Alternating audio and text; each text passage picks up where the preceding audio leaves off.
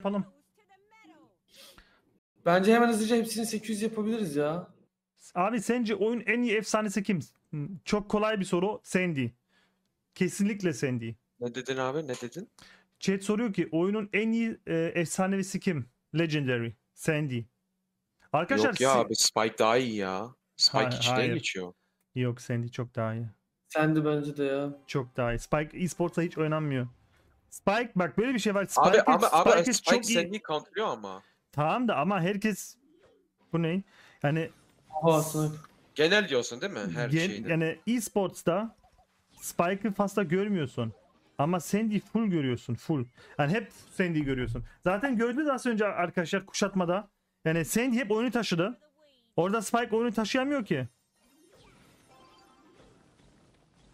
Sen de her türlü çok şu an iyi ya. Her türlü. Ya ne yapıyorsunuz ya? Ama iyi bir mesela şöyle bir şey de var. E-sport olsun şey olsun. İyi bir Spike olsa seni hiç ulti ver- vermez. Seni hiçbir işe yaramayacak. Yok ama böyle genel düşünmelisin. Sandy ulti kasıyor.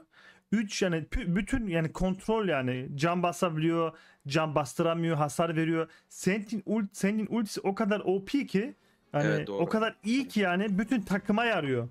Evet evet doğru. Spike kendi şeyini kazanabiliyor. Evet lane'ini yani kanatını kazanabiliyor. Sağdan git o zaman mı sen? Bir saniye sen gir oraya. Bir saniye bak dikkat etmeliyim. Can bassana aks var. Biz girelim. Bas bas.